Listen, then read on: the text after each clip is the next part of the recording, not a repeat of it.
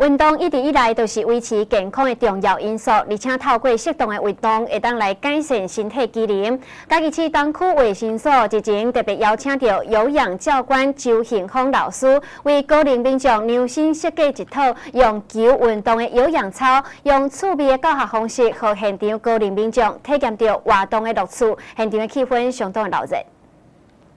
该市东区卫生所表示，高龄化社会已经来临。依据行政院体育会定义，国内年岁超过六十岁为高龄。而世界卫生组织也指出，高龄运动训练的效益必须要符合生理甲心理两部分。所以，东区卫生所这次特别设计用球来作为运动工具，以轻松的方式来让年岁大的老人做运动，比较较袂造成运动伤害，更会使改变肌力，增加平衡感来预防跌倒。运动事实上可以预防很多的慢性疾病、心血管疾病以及癌症的一个发生率。那借由这样的一个球类的一个推广，因为它不必选择场地，不必选择这个。取得也方便，然后在家里随时随地都可都可以运动，可以达到让我们的运动能够生活化，啊，然后全家都可以一起运动的一个啊效果。健身房他们可能不太适合去了，在外面的话，在家里面的话